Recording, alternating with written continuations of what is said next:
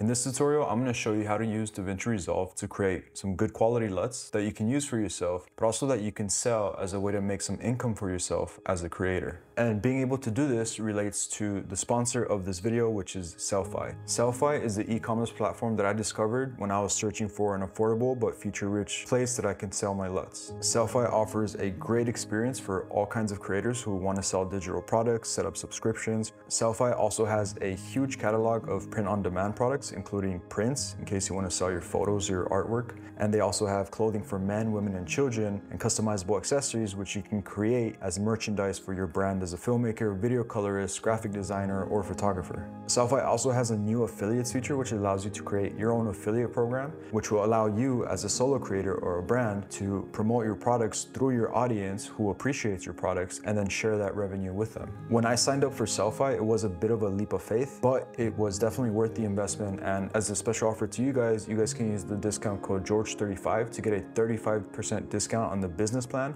or you can use the code George50 to get a 50% discount on the starter plan. Also, to help you get started with selling LUTs, there's a free product page template that you can use when you're selling your LUTs, which will help you to create a good, well-rounded product page that'll help you to properly showcase your LUTs and inform your audience as to what these LUTs can do for them. With a platform like Sellfy and all the things that I'm gonna teach you in this tutorial for creating good LUTs, you'll have everything that you need to sell LUTs and to start making some passive income. So just in case some of you guys are complete beginners, let's go over what a LUT is. So a LUT, or a lookup table, is one of the most popular and important tools in color grading workflows, and it provides a systematic way to apply color adjustments to footage. You can sort of think of them as filters, but that's a little simplistic. And it basically acts as a mapping table converting an input color value to a desired output value based on predefined color transformations. There are basically two main types of LUTs. You have technical LUTs and then you have creative LUTs. Technical LUTs are primarily used for color correction and calibration, also to make sure that there's accurate color reproduction across different devices and color spaces. And then creative LUTs are those artistic LUTs and they allow users to apply a more stylistic color grade to their footage and achieve a specific look for their projects. And in this tutorial, we'll create a LUT that'll give users a nice warm and cool color palette with some of that cinematic cyan color in there as part of its overall color aesthetic. Before creating the actual LUTs, it's important to prepare everything that you need. And we're gonna do this by using color charts, such as a HALD pattern, and also this custom color chart, which I've created, which I use when I'm creating LUTs. Besides these graphic color charts, you also wanna gather the appropriate footage. You can do this by shooting your own footage or using a site like Artlist to have access to as many lighting conditions, color palettes, and scenes as possible. You wanna gather footage that's appropriate for the LUT that you're creating. When setting up a node tree to create a LUT in DaVinci Resolve, you do have the flexibility to choose any node tree structure that you like to use as long as you're following good color grading practices. For this LUT, we're going to use a parallel node tree structure. And we're gonna do that because parallel nodes blend adjustments equally, creating a more naturalistic effect. And this also comes with a couple other benefits. One, parallel nodes borrow the same signal from the previous node. So we have here this parallel node tree structure, and they're all borrowing the signal from here. There's a CST node here that's disabled, and then there's this balance node here, which is not doing anything.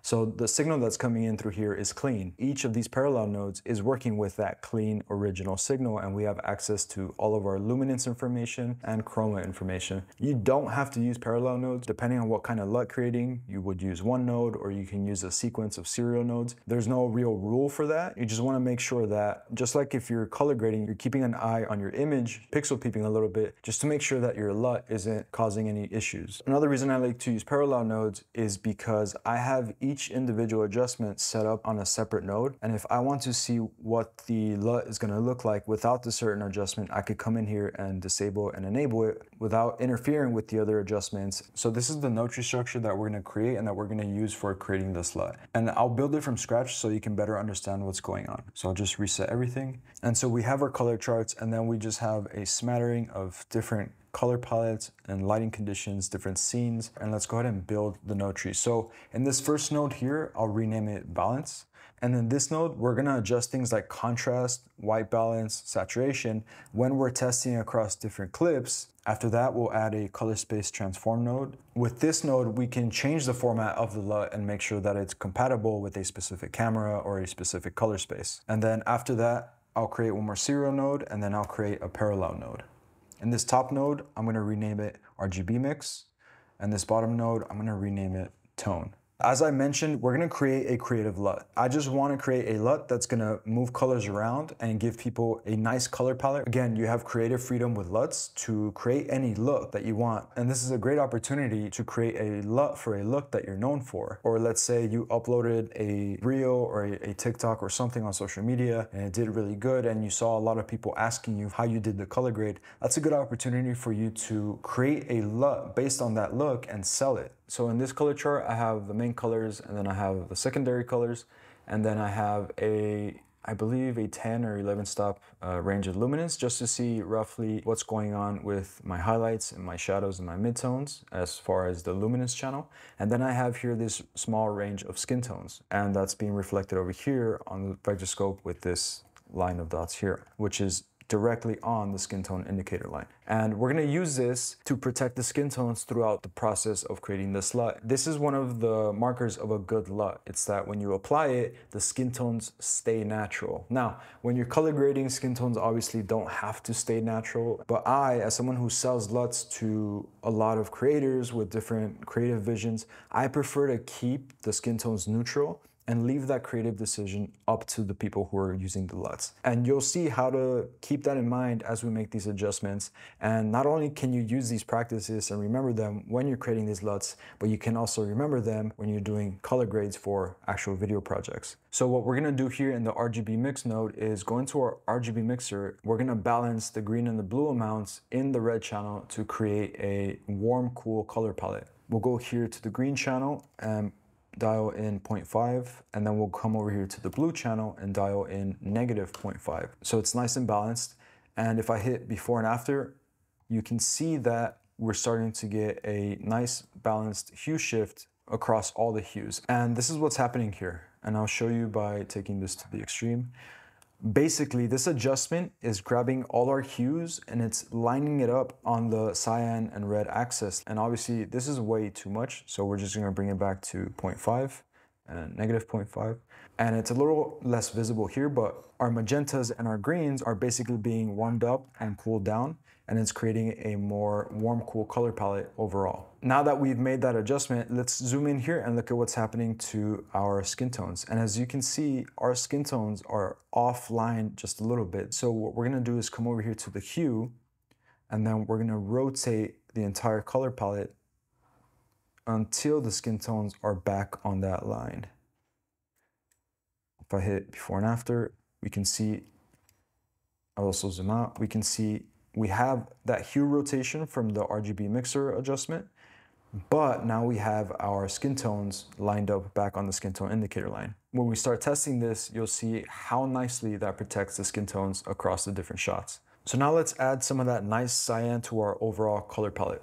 And I'm gonna do that by taking the offset wheel and subtracting red. Most people have their printer lights set up as the numerical keys. I have a MacBook Pro touch bar, which has the printer light buttons. So I'm gonna be using that. But you'll see here that as I decrease the red, the red channel will be decreased here on the offset wheel. And it's basically the same control. You can grab this wheel and just work this way. I just prefer to use the printer light buttons. Okay, so I've gone ahead and subtracted some red and we can see that some cyan is starting to be added into the mix. I'm gonna go a little bit more and that's good there for now. We're creating here the basic adjustments that we wanna see as part of this LUT. As we start to test this LUT across different clips, we can continue making adjustments if we see things that we wanna change. So for now, I'm not too worried about what it's looking like here on this color chart. I'm just using the colors here as a rough estimate as to what's happening with all the colors. Now, we've added the cyan into the mix. I wanna go back to my skin tones and make sure that they're lined up on the skin tone indicator line. There's many ways we can do it, but here is a very easy way. So we took the offset wheel and pushed everything into cyan, and that brought a lot of the hues down, which is what threw these skin tones off balance. Now I'm gonna use the green magenta axis to line up the skin tones again. How I'm gonna do that is go back to the offset wheel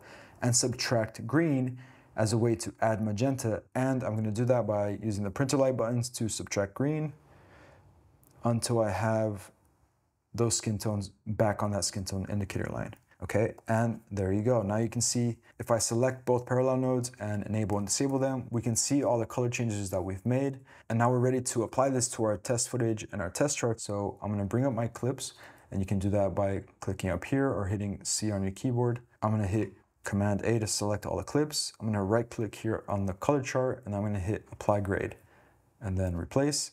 And that'll copy over this node tree structure onto everything in the timeline. So if I hit before and after, here's the original Rec 709 and here's what it looks like after our adjustments. And as you can see, we're getting a very nice color response from everything and our skin tones are looking nice and true. And so testing the LUTs is this simple. It's now going through different clips, enabling and disabling the effect and seeing how the clip is responding to these colors and seeing if there are any problems going on in the shot. We can also start to do things like adjust white balance and contrast and saturation to see how the LUT responds. So for this clip here, I'll just really quickly apply a white balance adjustment and then I'll add contrast curve.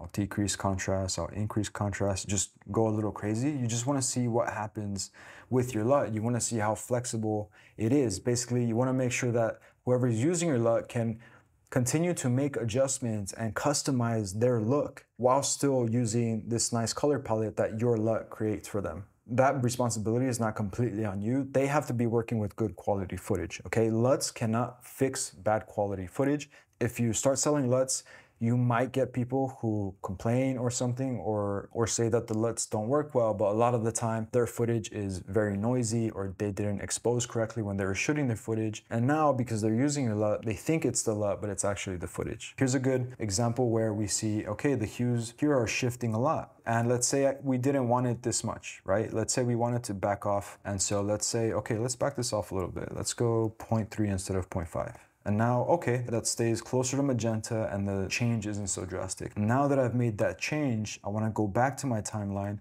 select everything, and then redistribute that change to all the different clips. And then continue testing that adjustment across different clips. So now I'll come over here, I'll lower my exposure, I'll increase my contrast, maybe lower my saturation a bit. This is looking very cool. I wanna bring this over to the warm side a little bit to get those skin tones right. Here's a good hero shot. And then I'll just come in here and enable and disable and see what's going on with the image and everything looks, everything here looks fine. So I'm happy with that. Move on to the next clip. Here's a clip that's gonna serve as a good reminder how important it is to test across different lighting conditions. Not just lighting conditions, but light sources. This is a good example. We're working here with neon lights. And let's say I had added an adjustment like color density, right? And I use the saturation versus luminance curve. If I go in here, we can see that that adjustment really affects these neon lights. But if I, you know, if I copy this over to other clips, right? And okay, let's say the adjustment wasn't that crazy. I'll copy it over again. With this adjustment, I might be going through certain clips and it actually looks good. I'll even go to these test charts and this looks just fine. But if I bring it over here to this shot, which has all these neon lights, I can see that clearly it's not working well and it's creating these artifacts and it's creating these ugly neon lights, right? Because here it is before and here it is after. And so that's why it's important to have as many lighting conditions as possible. It is possible to create LUTs for, let's say, beach scenes, and all the adjustments you make are tailored to beach scenes. And when you go to apply these LUTs to, let's say, a night scene or something with neon lights, it's not gonna work.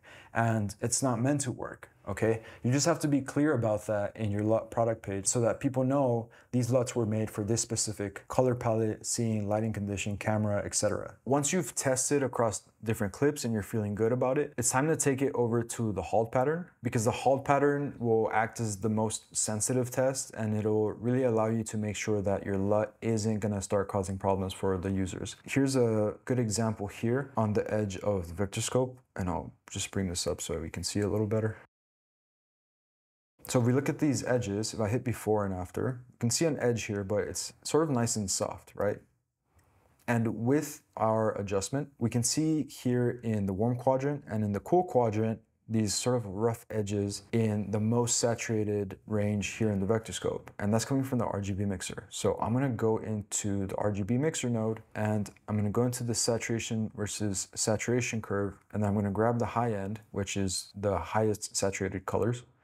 I'm gonna bring it down just a tiny bit until those edges soften up. And so here's the adjustment and here's what it looked like before.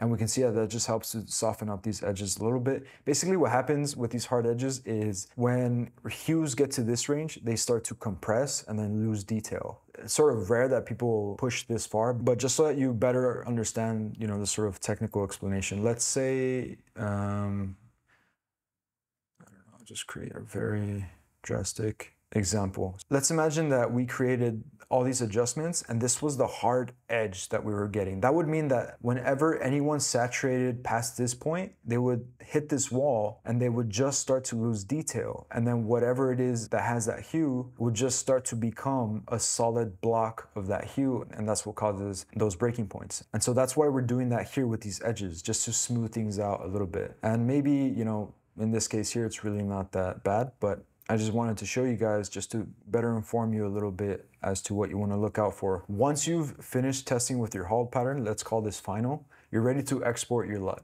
And the way to do that in DaVinci Resolve is by going down here to the clips, right clicking, going over to generate LUT, and then selecting 65 point cube. DaVinci Resolve gives you the option of exporting a 17 point cube, a 33 point cube, and a 65 point cube LUT. This just refers to the LUT size, and the LUT size is just the cube grid. Larger sizes do provide greater precision and color mapping, and when you're selling LUTs, you want to sell the highest quality LUT possible, so always use 65 point cube LUTs when exporting, but you can also offer your audience the 17 point cube or the 33 point cube for applications like using LUTs on a monitor to reference what the scene will look like with your LUT applied. And now many prosumer cameras have this feature, also with new camera apps like the Blackmagic Design camera app, which allows you to import LUTs. This is something that a lot of people would love to have, especially if you've created a LUT that they love to use. Now they have a version that they could take with them out in the field. And so when you're ready to export, just hit 65 point cube and save it to wherever it is you want to save it to.